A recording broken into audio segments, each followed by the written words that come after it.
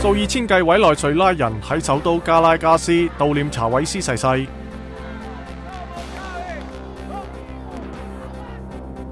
联合国话超过一百万名叙利亚难民已经逃亡到约旦。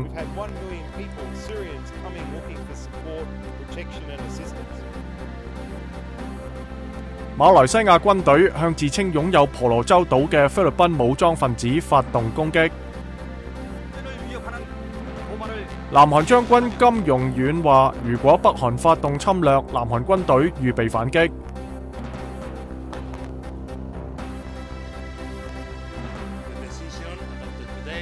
欧盟宣布因为微软违反咗反垄断协议被判罚款七亿三千万美元。